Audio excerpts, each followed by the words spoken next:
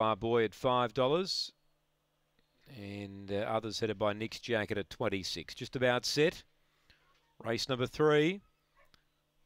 So we are ready to run. A field of seven runners here. Favourite McLaren Stardust. They're ready. Away now, McLaren Stardust topped out pretty well. There's great speed box two, Jervois Boy. Now Nick's Jacket came over to second. Uh, back in fourth placing there was Resolute Lee from Blue Wolf, who checked off Hills.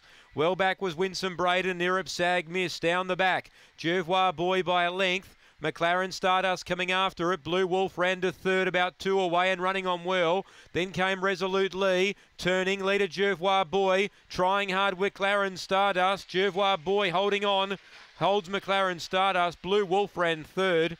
A gap to the others, a three-way go for fourth. Iripsag missed Resolute Lee and Nick's Jacket, and Winsome Braden was back at the rear. Jervois Boy wins.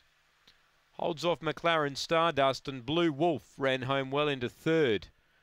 2 1 3 confirmed here, 30 and 16 the run. Six gets fourth, Resolute Lee. 2 1 3 and 6. Take note, 30 and 16 the run. It's a neck by two and a half, 445 early.